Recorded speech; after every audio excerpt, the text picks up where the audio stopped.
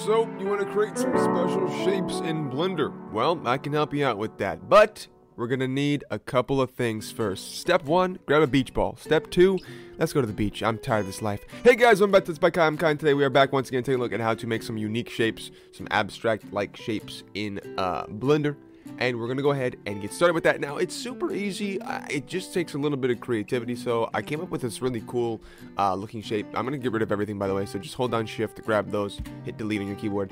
Uh, I'm gonna grab the default cube and hit tab to go into edit mode here and then we're gonna go ahead and right click and then go bur bevel bevel wow that's that's a new one. Bevel vertices and you can go ahead and click that and you can see when I move my uh, my mouse around it kind of bevels those those vertices and kind of kind of creates some triangles which is really cool.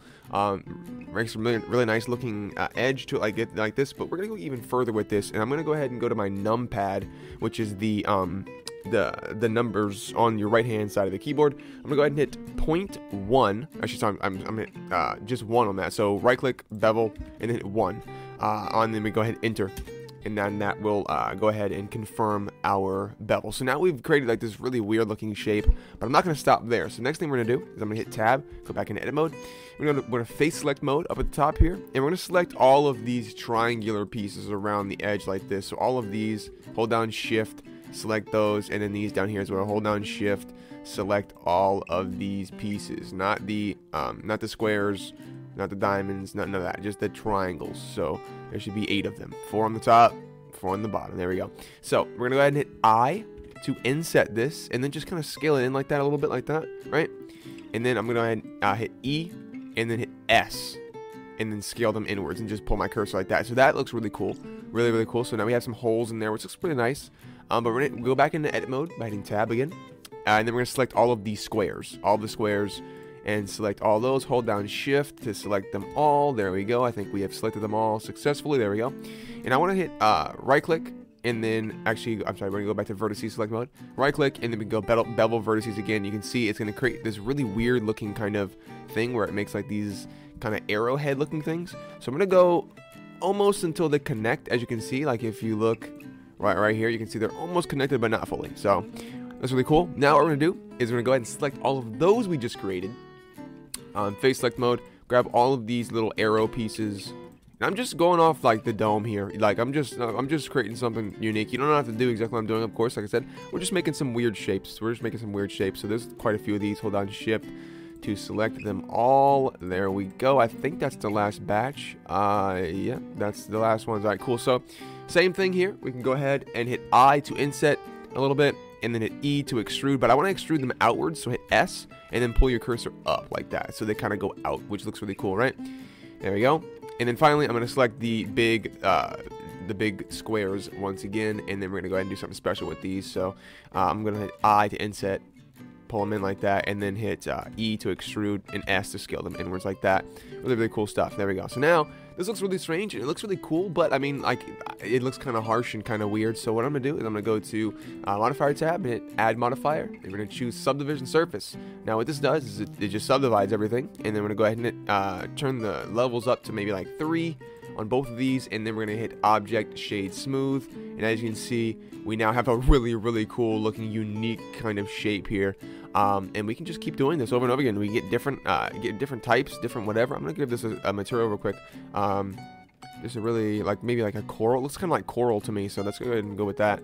Um, there we go. I like it. It looks really cool. We can do this with multiple different things. Like I said, you can do this with any shape. I'm gonna do uh, another one with a. Uh, let's do one with a torus. Why not? Let's do it with a torus. All right, I'm gonna move this over here, um, and then we're gonna go ahead and uh, this is a special way. So I hit 7 to go into my top facing view. I'm to select all these bands by holding down shift and alt and then just double clicking until I get it to go uh, side to side like that. Um, and all of these as well. Nope, not that. Control Z if it uh, selects the loop like in a circle like that instead of up and down. Um, select these as well. There we go. And on the other side as well. There we go. Um, now I'm going to go ahead and hit I to extrude, and then maybe about right there, and then an E and S to scale them upwards so they kind of go out like that, which looks really cool. I could also go ahead and change my uh, up here, I can change this to individual origins and then hit S to scale them up so that they stay there, which is what I'm going to do. So that looks really cool. Like that. Um, and then perhaps, I believe it's these. I'll select the ones in the middle of these. So hold down Shift and Alt to select the ring loops, like I'm saying. You see me doing right here. I believe these are all in the center. Now you go to the top facing view to make sure. Uh, yep, those look like they're all the middle of everything. Yep, I'm pretty sure. All right, cool. So I'm gonna do the same thing, but this time we're gonna go inwards. So I to inset, and then E to extrude, and then S to scale them inwards like that, so it's thinner, which just looks really, really cool. I really like the way this looks for some reason. It looks like some kind of really cool mechanical part. Um, so I'm gonna go ahead and hit uh, modifier, add modifier, subdivision surface, and then just bump it up to like maybe two or three, and then object, shade smooth. Now this one looks really, really cool, and this technique of just like extruding and and and scaling and insetting works so well. As you can see, it's just crazy. Now with all these selected, I kind of want this to be more hard of an edge, so I'm gonna hit I to inset this again, and then just like pull it all the way up, so it's like like that. that. There we go. So now those are like hard edged, which is what I wanted to begin with. Now, very very cool stuff. This is like I said, a very nice way to get some really unique shapes.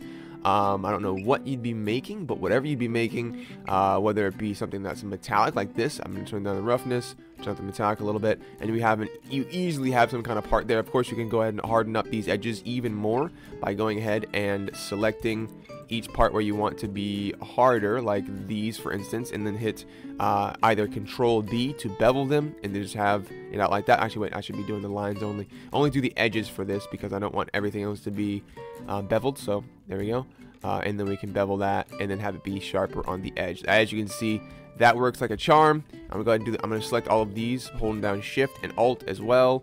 Again, select all these edges. There we go, and then hit uh, Control B and then there we go. Have it around the edge so now those are harder edges. Now those are harder edges sorry.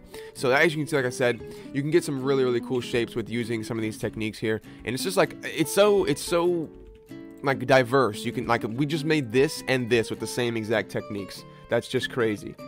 That's crazy. Like that's insane. So let's go ahead and do one more and I want to do one more because I want to show one last uh, little little trick here.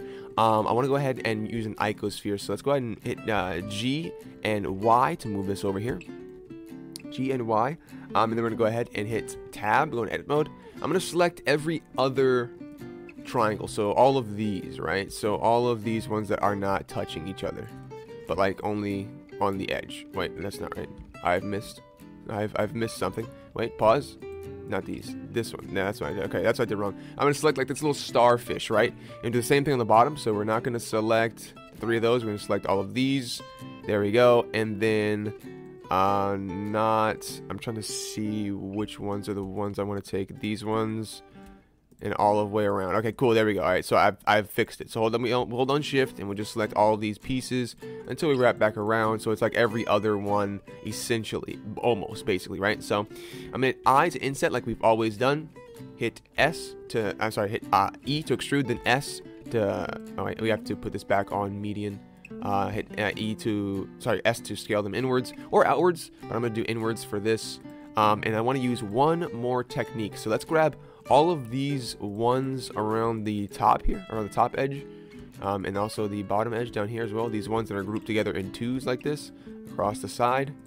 Grab all of these. Instead of extruding and instead of scaling and instead of instead of doing something like that, what we're gonna do is I'm going to go ahead and we will inset this again. But first, we're gonna go ahead and hit I, and we're gonna go ahead and go to uh, da, da, da, poke faces. And as you can see, that's created like some really crazy looking kind of things going on here. Now, what I want to do with this is I'm gonna go to face select, sorry, vertice select mode, and grab all the vertices it just created. So it created the like this little piece in the center. I'm gonna grab all of these pieces, just those little vertices in the center. Grab those. There we go. And this is going to give us a nice round look. You'll see in a moment. So let's go ahead and do that. And then hit S to scale these up. And then now we have like these literally cool looking like polka, uh, pokey triangles, which is really nice. Did I miss one? I missed one. Oh, well, make sure you don't miss one. All right, uh, I think I've got them all now. All right, let's hit S again to scale them all upwards like that. And then now they're all poking out, which looks good. All right, cool. Um, and finally, I want to go ahead and grab this piece in the center, in the top, and the bottom, sorry. And then just hit S, Z to scale them downwards like that.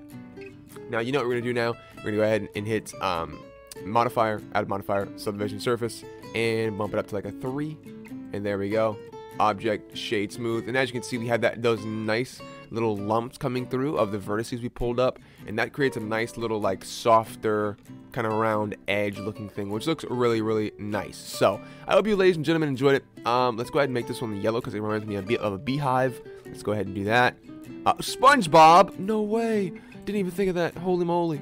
Looks like SpongeBob. Gosh dang bro. Look at that insane. Anyway, like I said, hope you ladies and gentlemen enjoyed it. I will see you in the next one. Just we've created some really really weird looking shapes with basically the some very strange techniques. But listen, they work really really well, and I hope you ladies and gentlemen enjoyed uh, taking a look at some very strange techniques to get some cool effects. So I will see you in the next one. But until then, bye bye.